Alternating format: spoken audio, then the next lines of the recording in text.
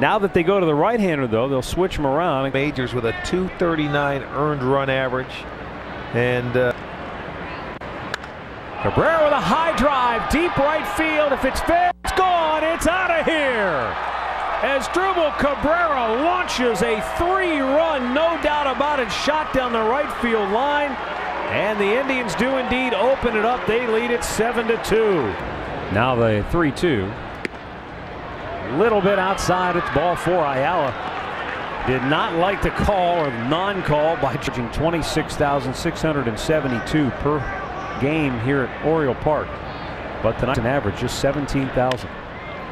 Slow roll to short.